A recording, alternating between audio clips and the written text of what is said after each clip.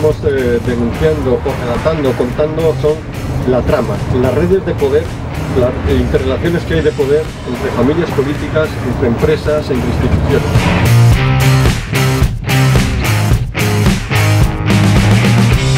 Esta política de patriotismo de hojalata barato y mentiroso quieren a las instituciones para ponernos al servicio de ellos, de sus intereses políticos, como hizo el señor Fernández Díaz, el que ha utilizado a la policía para crear su policía política.